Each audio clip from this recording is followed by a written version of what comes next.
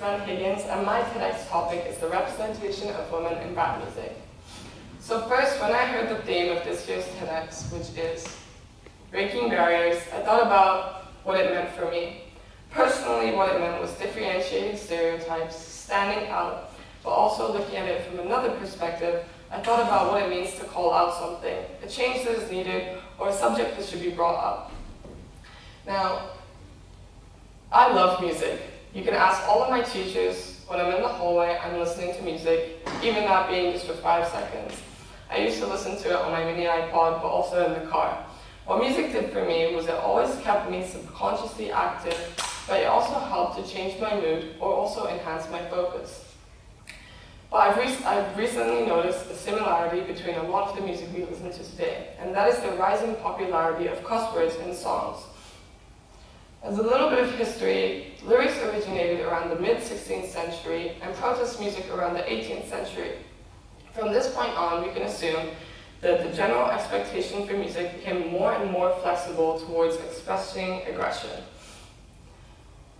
So from here, musical genres such as hip-hop and rap music came to life.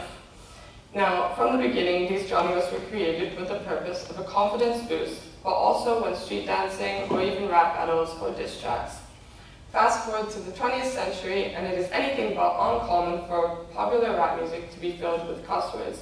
And don't get me wrong, it isn't the issue, it's not about the amount of cuss words that is the issue with music today, but it's more about how the meaning of it can have a severe impact on society, but also how we've taken those words and repurposed it to empower ourselves.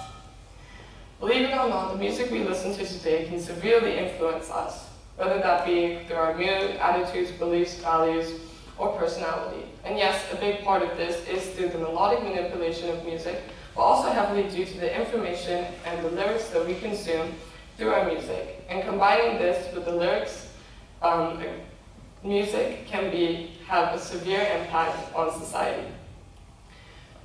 The process of a natural word for a female taking on a negative, often sexual meaning is a pattern found throughout language and is a phenomenon called pejoration. According to Medium.com, 90% of, of slang terms recorded for women can describe them as an object, prostitute, dumb, or even evil, opposed to slang terms created for men, which only 46% are all negatives. Now this is where music gets complicated. Just because an artist says something that we don't agree with or don't feel comfortable with, does that mean that the perception of the artist has to change? Well, there have been many cases of this in recent music, and that can be seen through controversial artists such as Kanye West, Lil Nas X, or Doja Cat.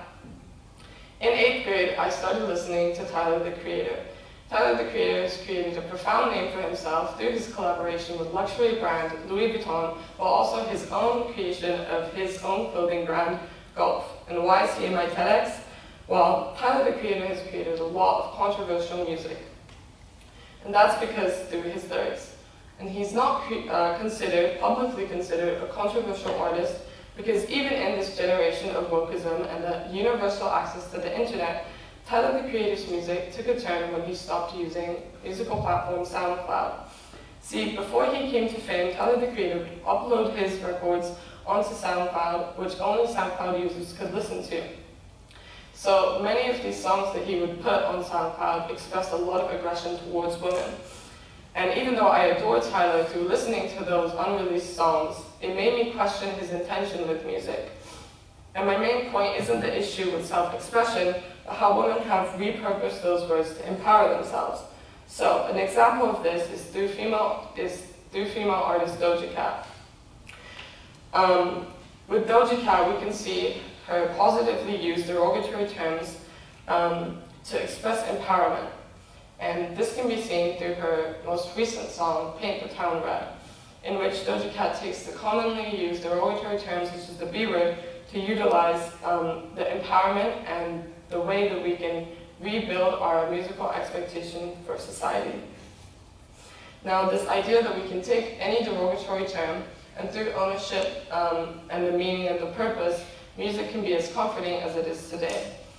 Personally, when I'm listening to rap music that has or contains the B word, I like to say that word because it makes me feel empowered. And I would like you also to take a moment to think about how it makes you feel. So by steering clear of amplifying negative issues towards women or rebuilding the general musical expectation for music as a society, we can learn how to appreciate music and correct our musical expectations and therefore hope for a friendlier future with music. Thank you.